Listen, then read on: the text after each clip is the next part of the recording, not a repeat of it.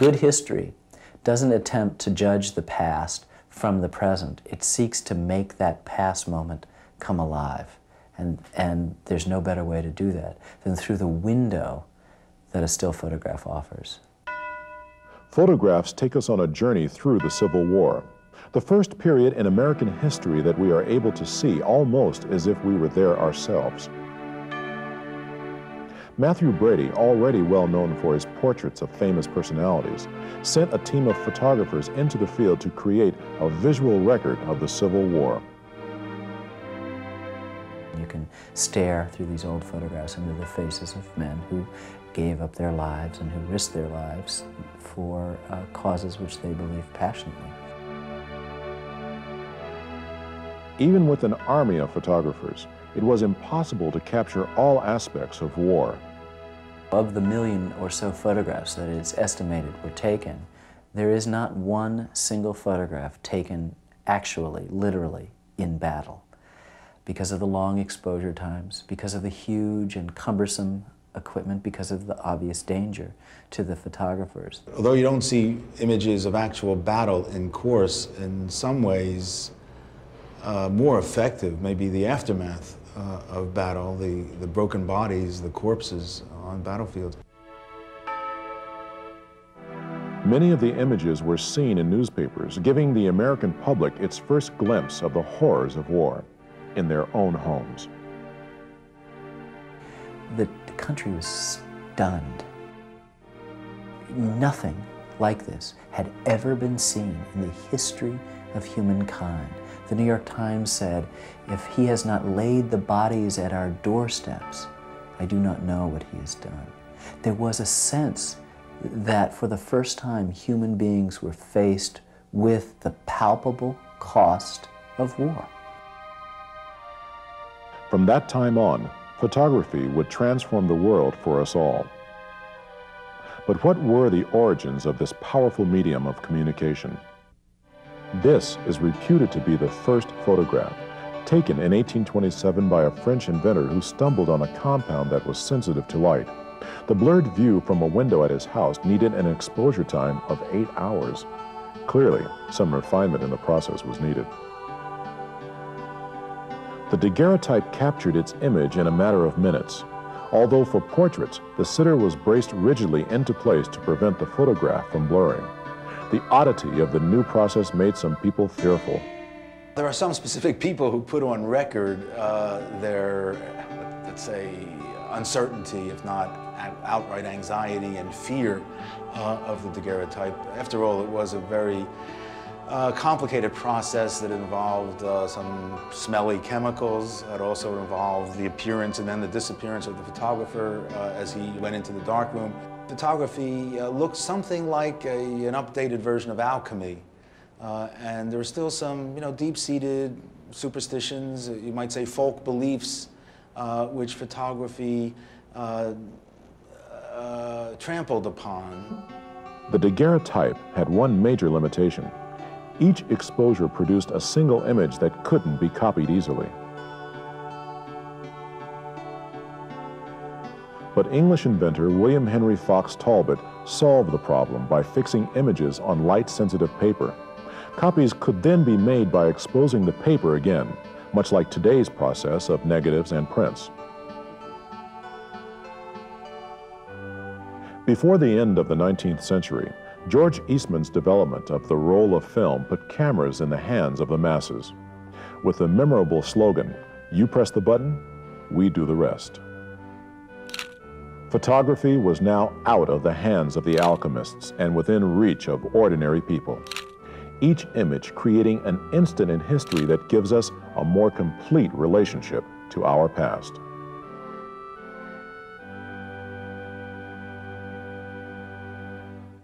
Photographers were quick to realize the impact an image could have on society.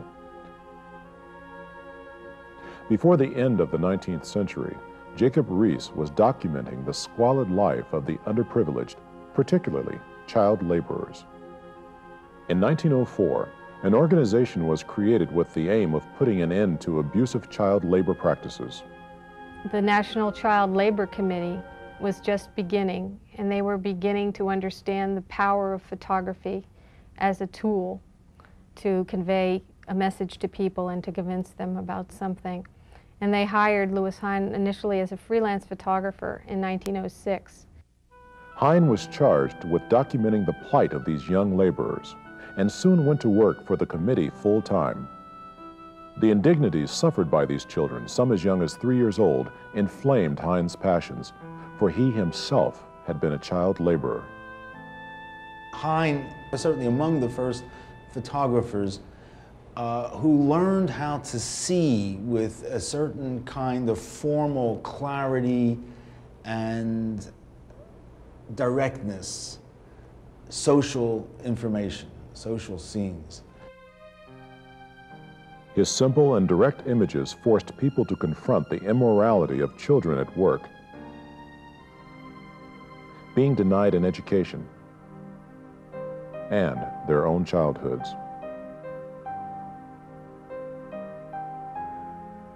I think Hine wanted the viewer to feel something about these children. And he focused on the children in the situations and thereby drew in his viewer to the child.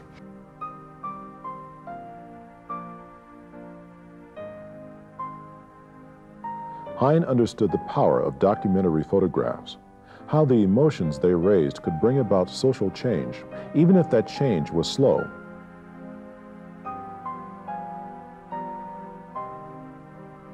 He used the camera as a weapon in the fight against injustice. The eloquent plea for social change captured in the child labor photos echoes in the photos of the National Association for the Advancement of Colored People. Those photographs uh, certainly led to the media coming into the Deep South uh, with their cameras. As the NAACP fought to establish the civil rights movement in the South, they found it virtually impossible to get news to the rest of the country from behind the cotton curtain.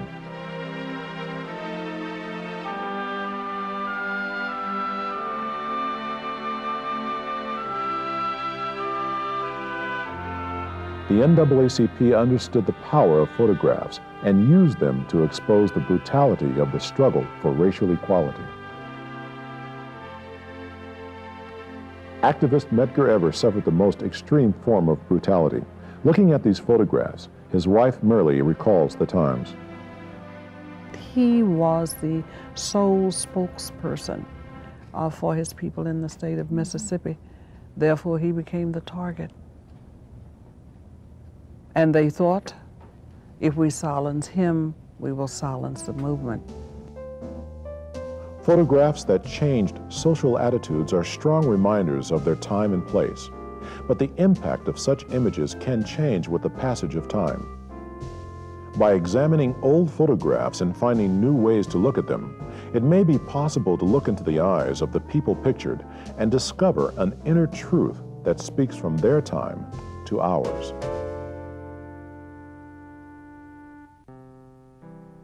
Photographs can document a moment, transporting us to other times and places. But can the images tell us more than what is already obvious? There's literally hundreds of ways to look at a still photograph. Even the simplest of ones um, betrays many, many secrets. But I find that as you extend to the photograph the respect that it's due, it begins to yield up secrets, new stories. For example, if I zoom in, I may find a new tension, a new dimension to what I'm interested in.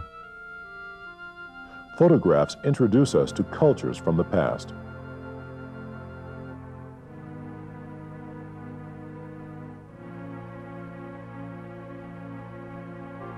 They let us celebrate inventive perseverance and get to know the face of scientific success. They invite us to experience the emotions of new immigrants arriving in the land of opportunity.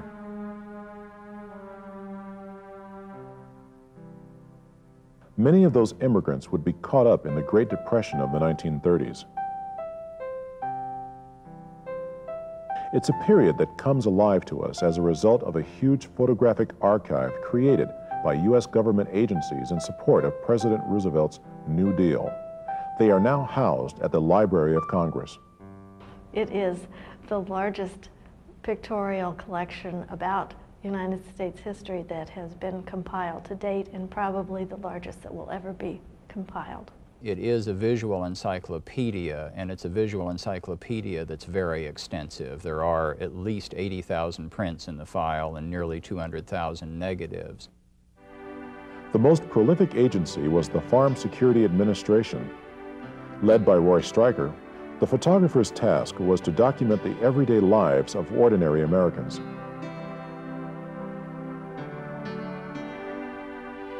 And publicize the plight of those hardest hit by the Depression. Stryker recruited photographers who shared his philosophy that every person was important and should be treated with dignity.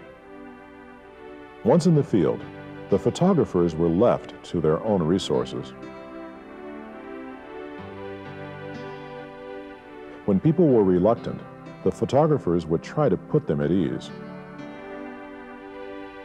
Once the ice was broken, the personality of the subjects often broke through their naturally careworn faces. They posed very stiffly, and I tried to think of what I could do to make them relax a little bit. So I said to Mr. Lyman, Mr. Lyman, I think your pants are falling down. and they broke up, which is just what I wanted. The photographers knew it was impossible to just document American life. They knew that their very presence altered the scene in front of the lens, sometimes in unexpected ways. If you don't know what's behind those pictures, you might think that they're dancing because they're so glad to be in jail or they're so happy, but it's not so. It's because the sheriff told them, ordered them to dance for the photographer.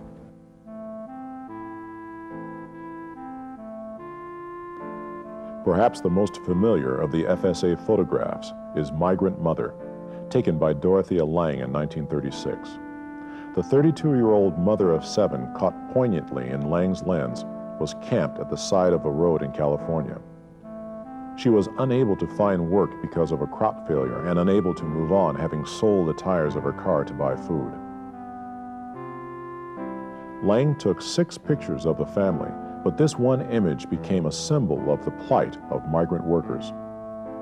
What is it about her face, her worry, that has drawn a nation to her for generations? Lange's sympathy for people expressed through her lens is also present in the writings of another FSA photographer. Some were poor, so poor they had traveled by foot pushing their young and newborn in buggies and carts. The makeshift shanties dotting the desolate landscapes were built of scrap wood, and the walls were covered with newspapers. I had known poverty firsthand, but there I learned how to fight its evil, along with the evil of racism, with a camera. Like Lewis Hine before him, Gordon Parks used his camera as a weapon to combat social ills in society. He was angered by the racism he encountered, and this anger led to his first and best known FSA photograph. I saw a charwoman, her name was Ella Watson, and she was mopping the floor. She had her brooms on the side. I asked her suddenly, would you pose for me? Would you, for a photograph? I asked her to take a broom, one hand and a mop in the other, and the American flag was hanging down from the ceiling. And I posed her in front of it. And from that moment on, I thought of it as American Gothic. and uh, I showed it to Roy two days later. And he said, well, you're getting the right idea, but you're going to get us all fired. I was just expressing my anger uh, the best way I could through my camera. I realize now, years and years later, that, that the honesty of the picture, the simplicity of it, if you might call it that, uh, has made it one of my strongest pictures. During World War II, Stryker, Parks, and the remaining FSA photographers were shifted to the Office of War Information. Their task remained much the same, but Congress began to question whether public money should be spent on something as frivolous as a National Photographic Archive. In the 1940s, Congress was quite upset that federal funds had been squandered taking pictures of things that were this ordinary, this routine. But now in the 1990s, very few homes look like this, very few kitchens look like this.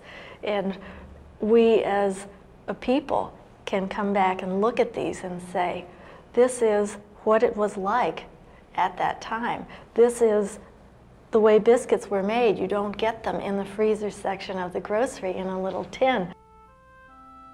Each of the 80,000 photographs in the FSA OWI collection represents an individual story that resonates of a time, a place, and its people.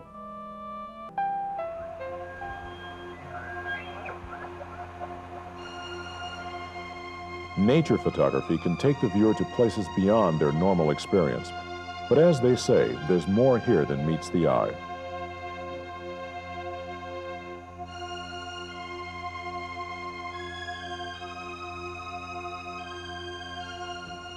To a modern viewer, William Henry Jackson's landscapes in the Yellowstone area of Wyoming give the impression of unspoiled nature.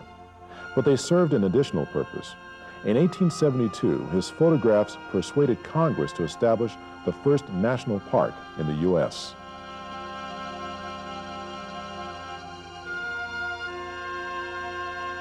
Another pioneer naturalist photographer was Carleton Watkins. His images of the Yosemite area of the Sierra Nevada helped secure the land against development. Uh, they were showing people something that they didn't even know existed, and it gave the people a feeling of what was out here. And I think, uh, you know, those early photographs had a great deal of, of uh, impact as to some of the decisions that were made in Yellowstone becoming a national park, for instance. To the left, or you want to go this way? Uh, let's stay sort of on this trail here. Okay, I'll cut over towards them. Here in the Colorado Rockies, Wendy Shattil and Bob Rozinski work in the sort of rugged terrain familiar to pioneers like Jackson and Watkins, tracking wildlife in search of what in the photographic process is called the decisive moment. We look for the very special moments, the special kind of light, the special reaction from the animal. Probably the most common question that we get asked of us is, how long did it take you to take that picture? About a 500th of a second and 20 years of observation. The more you can know about the animals and the environment and respect it, the better off you're going to be, and then the better the pictures will be. And that's probably what separates the professional picture from the average picture. we can share a very special moment that maybe nobody else will ever have a chance in their lifetime to see. I like it when people can have a response to our photographs, uh, that they react to an image. The worst thing is if they look at something and say, hmm, that's nice. But when there's some sort of evocative response from a viewer, whether it's a, a moody, foggy shot of a bull elk in a meadow or a baby fox looking up at its mom, when there's a reaction from somebody, I'm thrilled.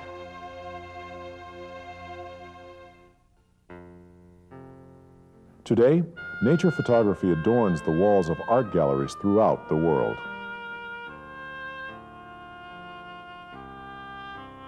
But can photographs be appreciated as pure art? It was really a long, hard struggle to get the public to accept photography as an art form because the public even today still doesn't like certain things that or certain subjects that photographers might portray because they feel religious subjects, um, nudity, they feel that uh, those things are not the domain of photography. The pictorialist movement established in Europe around the turn of the century was determined to secure photography as an art form. The pictorialists strove to make art, and they looked at art as a model for composition, for ideas about form and texture and things along those lines, all the elements of art. They looked at art. They didn't imitate so much as they used the elements within art, within photography. It's a new form. In Victorian England, Julia Margaret Cameron, one of the leading pictorialists, was noted for her slightly soft focus, moody portraits that echoed the oil paintings they replaced. In the U.S., avant-garde photographers banded together under the leadership of Alfred Stieglitz.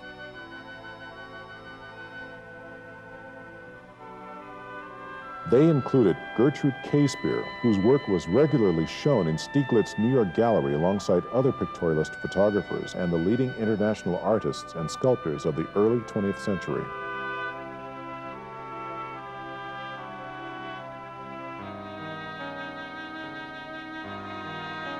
F. Holland Day, a pictorialist from Boston, shocked turn-of-the-century sensibilities with depictions of male nudes and the seven last words of Christ a series of photographs in which Day portrays himself on the cross. These are subjects that can still raise eyebrows.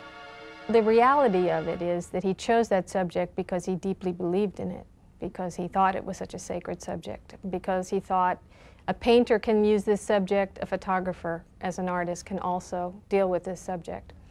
Day's archive of photos came to the Library of Congress in 1934 almost by accident. The 600 pictures accompanied a gift of papers relating to his career as a publisher of artistic books and manuscripts. No information accompanied the pictures, and they have only recently been cataloged, leading to a reappraisal of Day's work. By the middle of this century, artists tried to free themselves from the mechanical limitations of the camera. Man Ray took cameraless photography beyond the simple notion of placing objects on photosensitive paper. These are some pictures made with water, smashing down onto photographic paper. Following that tradition, Adam Fuss continues to explore the possibilities of a form of expression that echoes the science and art of the first photographers. I'd been very, very interested in science. About that time, I became more interested in the arts, and photography had one foot in the world of, of science. In, in optics, in mechanics, in chemistry. For me, a successful picture, in a way, is something when I look at it, when, when I take it out of the tube, I have to keep looking at it. I, I, have, I want to keep looking at it because there's something there that's um, compelling. The interaction between artist and camera defies precise understanding. The techniques adopted by an artist strive to communicate a unity of form in the ideal photograph. And the photograph itself is an interpretation, not necessarily a direct representation of reality. One of the freest forms of photographic expression has been glamour and fashion imagery. Are these images reflecting the values and directions of society, or are they shaping them? Fashion photography is a fascinating niche in photography in that it really can transcend the moment or the object that photographed. Um, photographers of fashion photograph the ephemeral and the temporary. And in many cases, these photographs freeze not only a moment, but a real attitude. The fashion industry has made superstars out of models who display its wares. Alongside those famed for their poise on the runway are the fashion photographers, many of whom are as rich and famous as the models they focus on. The work of Herb Ritts defines today's concept of high fashion photography. Every photographer has his own way of going about creating an image. And for me, I like to have my given set up, but I don't plan anything. I like to go for the moment. Okay, just look at me. Look at me. Little smile, head up. Good, good.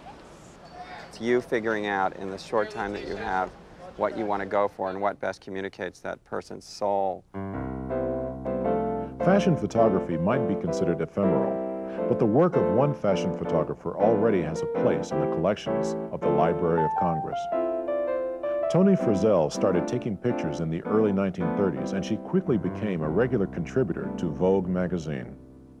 Her portraits of, especially of women, um, have a tenderness uh, and really show the fragility of a woman, uh, but also the strength of a woman at the same time. It's a sort of double-edged sword. She was imaginative and dedicated to her art, often taking her models to exotic outdoor locations. It sets off it's kind of a, a fantasy. Once you get the image, you start thinking, oh, it reminds me of, and then people supply their own meanings to it. She sometimes called it Midsummer Night's Dream, which allows for a lot of imagination on the part of the viewer. She could have remained in the rarefied atmosphere of fashion photography, but during the Second World War, Frissell switched from fashion to the front line, transforming herself into a photojournalist in bomb-ravaged Europe. You never see the horrors of war. She always tried to look at something, uh, a, a beauty. Even that child sitting in the rubble is a, a beautiful picture. This is from a study she did of a bombing in a neighborhood in London during a blitzkrieg in 1942. All the pictures in there have immediacy to them. In this one, the little boy has sort of a shocked look on his face to know that his family eh, has been killed in the bombing, that his home has been destroyed, that he has only the clothes he's wearing and the stuffed animal. Makes it a very poignant photograph. Among today's documentary photographers, Mary Ellen Mark's images have introduced people to the dispossessed from across the globe. Where I make the images to show people a situation, a condition that exists, and to make them look at it, to force them to look at it. If it's a painful situation, to say you should look at it. Her photographs concentrate on the poor and outcast members of society, ranging from Indian prostitutes to runaways on the streets of Seattle.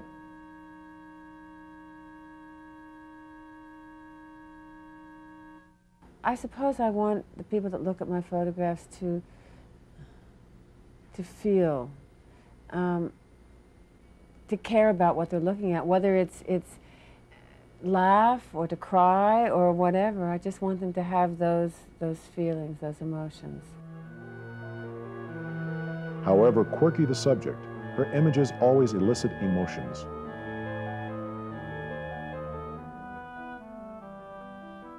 A precursor to the documentary camera style was the stereograph.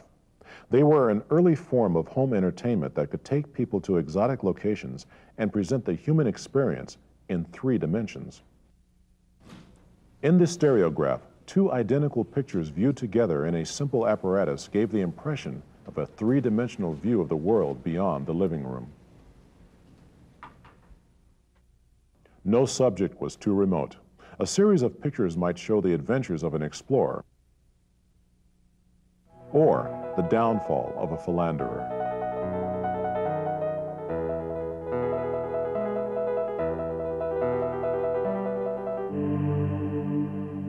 Today, these images have taken on a new meaning as signposts of a journey into our cultural past. Old photographs help us examine societies both primitive and advanced, a visual archaeology.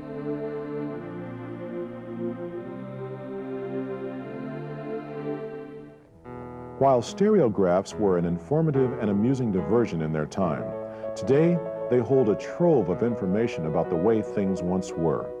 Each image holds evidence of life as it was. It's in the details, the furnishings, clothing, and manners. To truly see, we need only look.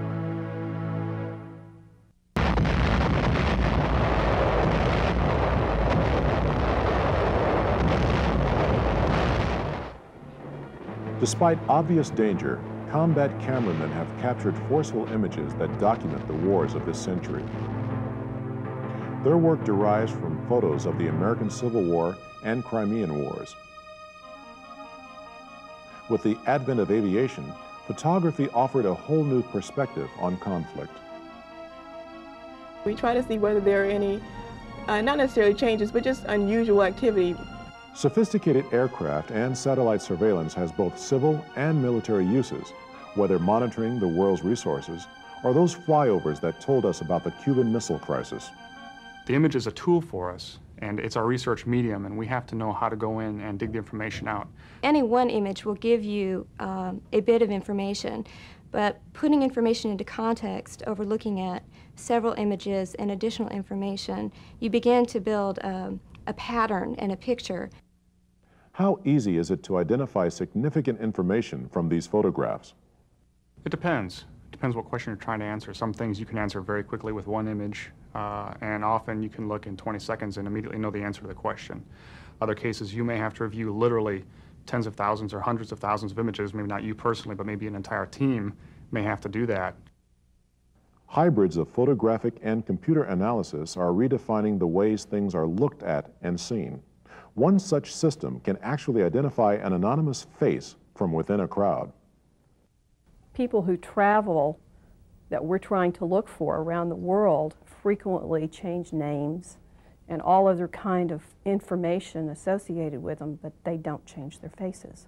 Even people in disguises, in certain kinds of disguises, can be identified. For example, people who are wearing wigs, sunglasses, uh, people who are wearing trench coats, hats, things like that, we can still make an identification, and we've done testing to make sure that we can. Do photographs always tell the truth? Do they always represent reality? In no cases is a photograph completely reliable, but in all cases, a photograph has the potential of telling us something about an event giving us facts, giving us details, giving us all kinds of information that we can stare at and help us to come to some sort of a conclusion as to what really happened. In today's world of digital technology, desktop computer programs offer anyone the power to alter the basic structure and content of photographs. Which is what computer imaging is mostly about, is you take an image that exists and you change it to illustrate somebody in power's preconception of what the world should be, should be, even if it isn't. We are surrounded by photographic images. The camera can act as a sensory extension going where we can't. In medicine, cameras produce visualization techniques that enable diagnosis and treatments impossible just a few years ago. Even now, an electronic camera is under development that takes three-dimensional images that can be manipulated on a computer and viewed from different vantage points. The so-called information superhighway opens up vast possibilities for image transfer and storage, and the Library of Congress is already taking its place on the cutting edge of this new technology with the National Digital Library. We probably have 12 million photographs here.